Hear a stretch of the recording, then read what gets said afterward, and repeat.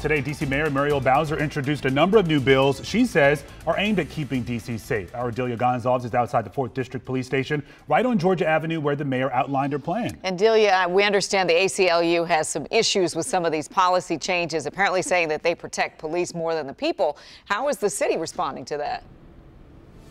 Well, the ACLU no doubt will be paying close attention to the implementation of these proposals should they become law. Well, we asked the Deputy Mayor of Public Safety just that about that that careful balance, striking that balance between keeping our streets safe and making sure our residents don't feel like criminals walking around their own city or targeted in any way.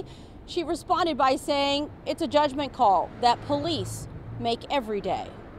Last week, surveillance cameras captured a brazen robbery on the wharf where masked men jumped out on unsuspecting diners. Constitutionality, whether it's in policing or any of the proposals we're making, is at the foundation. Now, the mayor proposes to make wearing a mask during or with intent to commit a crime unlawful. Deputy Mayor of Public Safety Lindsey Appiah says the bill helps ease business owners' concerns. And people are coming in with ski masks on in July. You can't do anything about that. And the answer was no.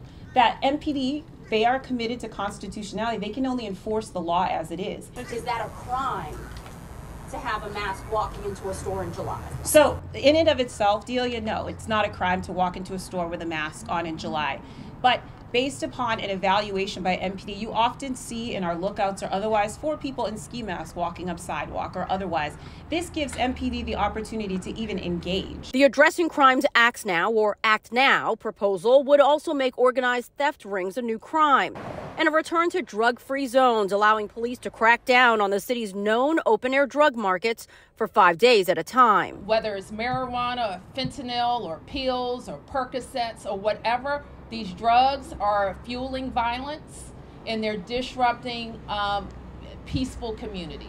The mayor said part of the new legislation is reversing some of the laws the council passed back in 2020. And I think all of us following uh, the murder of George Floyd wanted to make sure that we were doing everything possible uh, to have uh, a safe and um, constitutional police force. I said at the time, our police force is not like a lot of police forces around the country.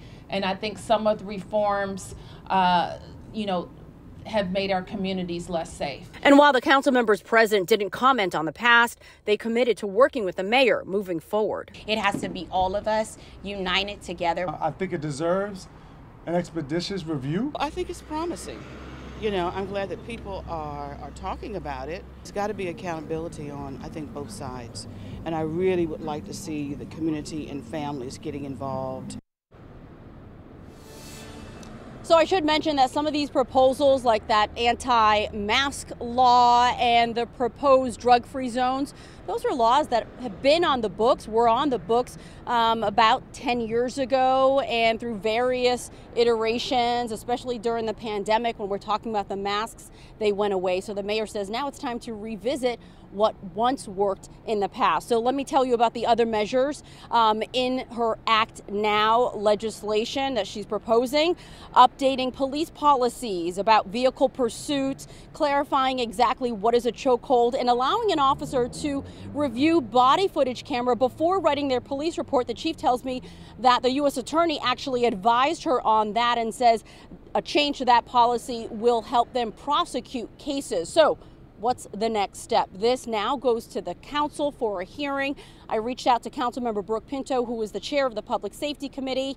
Earlier today, she told me that she is committed to having a hearing this fall. The mayor needs at least seven votes in order for her proposals to become law. Back to you in the studio. Yeah, looks like she's at least got some council members that are willing to hear her out, and we'll see what happens from here. All right, Delia, thank you.